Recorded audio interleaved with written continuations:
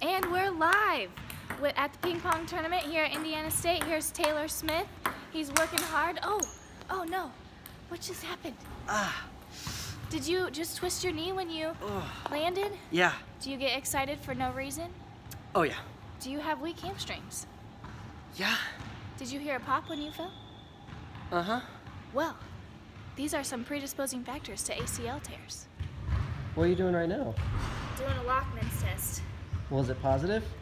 Well, I think so. What does that mean? You might have torn your ACL. Okay, well, what do I do now? Well, now we gotta maybe go get an MRI. See, see what it says. How could I have avoided this to begin with? We could have worked on um, quad strength, hamstring strength, glute strength, and working on not twisting when you land.